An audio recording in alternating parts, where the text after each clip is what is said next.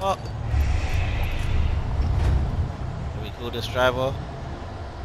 Why is it? Why am I getting blurry?